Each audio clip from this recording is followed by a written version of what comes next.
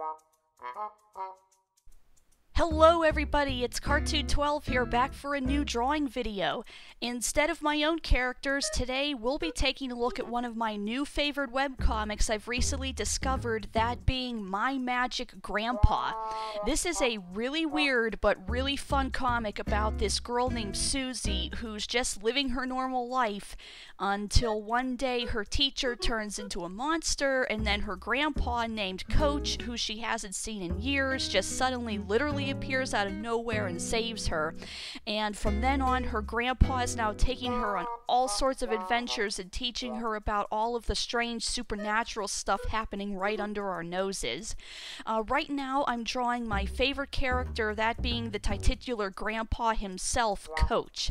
He's super sweet and lovable, but also incredibly eccentric and weird, but in all the right ways. And considering he's this talented magical being, I guess it makes sense sense that he'd be that way. So if you like shows like Gravity Falls or Doctor Who, then you'll probably really like this. And actually, speaking of Doctor Who, the creator of this comic used to work on the My Little Pony web series Doctor Whooves and Assistant. Uh, it's a really great radio drama like series that you can listen to right here on YouTube. Um, the series was discontinued, sadly, but it's still worth it's still worth it to check out, and I'm really excited that one of the creators of that series has gone on to make this original comic of their own. So I guess you're getting a two for the price of one recommendation this time around.